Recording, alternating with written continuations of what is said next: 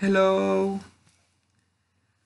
my name is Adrian and I will tell you about my favorite hobbies and what each one is about. There are only three hobbies, but they are very interesting. My favorite hobby is playing on a PC gamer and talking on Discord with my friends. I really like this because time passes like light. Another hobby that I love is meeting people online. That's how I meet my current partner. This is my favorite hobby because you can get to meet people with a lot of similarities with you. In my experience, meeting those friends was such a beautiful thing that I would want everyone to experience.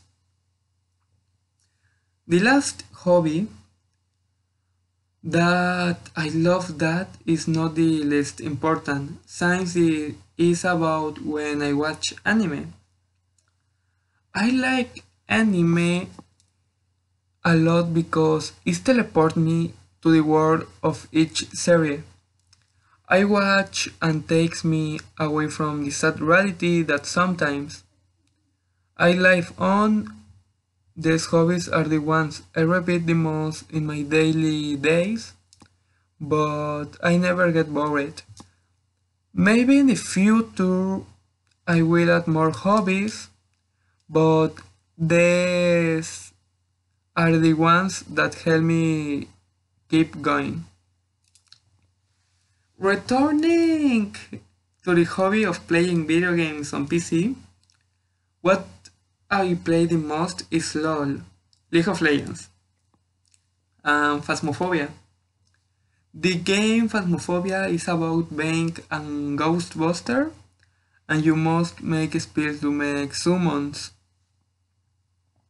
And LOL it's basically about destroying the enemy base,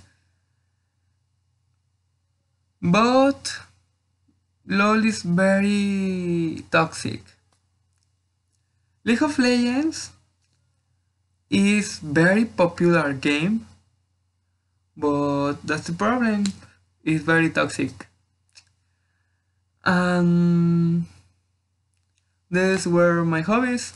This is was what I like to do. Bye.